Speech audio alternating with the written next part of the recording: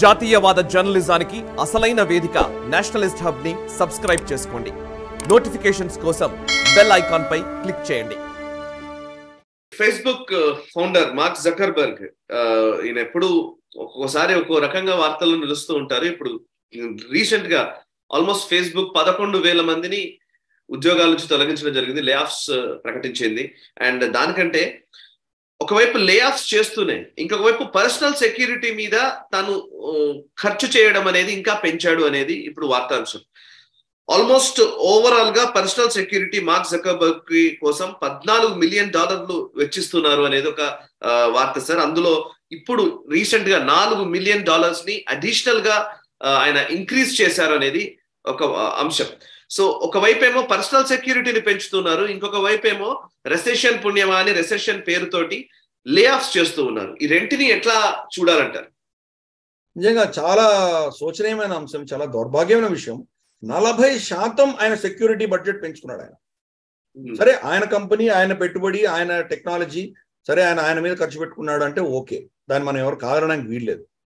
నిజంగా ఆయనకు అంత సెక్యూరిటీ ప్రాబ్లం ఉందా అన్నది ఒక పెద్ద ప్రశ్న. సరే ఆయన అసెస్మెంట్ ప్రకారం ఉంది అనుకుంటున్నాడు. నాలుగు మిలియన్ డాలర్లు పెంచుకున్నాడు ఆయన. కానీ పదకొండు వేల మందిని ఉద్యోగాల నుంచి తీసేశాడే.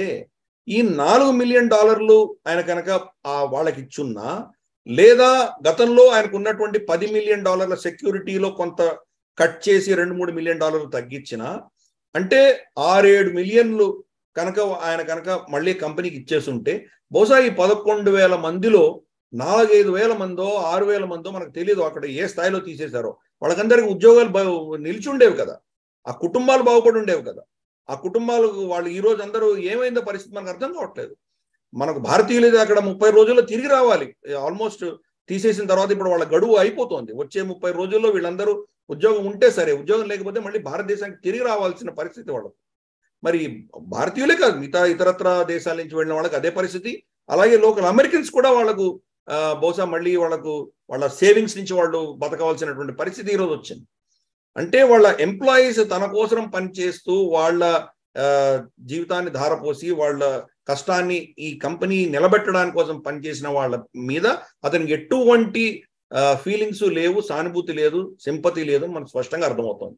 వీళ్ళని వస్తువులుగా ఒక సాధనగా వాడుకుంటున్నాడు రిసోర్సెస్గా వాడుకుంటున్నాడు తప్ప దానివల్ల నిజంగా వీళ్ళు నా వాళ్ళు నా కుటుంబం అన్నటువంటి ఫీలింగ్ లేదు. అంటే అమెరికాలో ఉన్నటువంటి కార్పొరేట్ వ్యవస్థ వ్యక్తులకు ఎంత ఇంపార్టెన్స్ ఇస్తున్నదో ప్రాఫిట్స్కి స్వలాభాలకి వాళ్ళు ఎంత ఫోకస్ పెడుతున్నారో ఇంతకంటే పెద్ద ఉదాహరణ లేదు.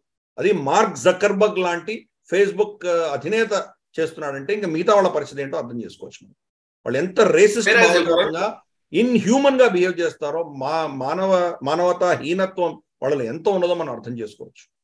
దీనికి భిన్నంగా చూస్తే కనుక భారతదేశంలో మనకు నైన్ ఇలెవెన్ అటాక్ జరిగినప్పుడు టాటా గ్రూప్ వాళ్ళ స్టాఫ్ అందరికీ చనిపోయిన వాళ్ళకి వాళ్ళు బతికున్నంత కాలం ఎంత జీతం వస్తుందో అంత జీతం ఆ కుటుంబాలకు పంపిస్తున్నారు.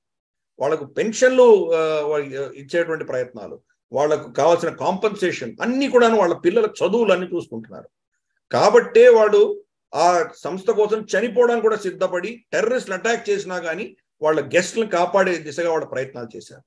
సో అది భారతీయ సంస్కృతితో నిముడి ఉన్నటువంటి కంపెనీల ప్రవర్తన ఒకలాగుంటే ఒక ఓన్లీ ప్రాఫిట్ మ్యాక్సిమైజేషన్ మాత్రమే ఒక విలాసానికి వాడుకునేటువంటి ఎక్స్ట్రీమ్ కార్పొరేట్ భావజాలం ఉన్నటువంటి దేశంలో ఉన్నటువంటి పరిస్థితులు ఈ రెండింటి యొక్క కాంట్రాస్ట్ మనం చూడవచ్చు. సరే ఈ రెండింటి యొక్క బ్యాలెన్స్ అనేది తీసుకురావాలి. Profits yes valuation yes but not at the cost of morality అన్న విషయం భారతదేశమే ప్రపంచానికి చాటగలదు అని నేను భావిస్తాను.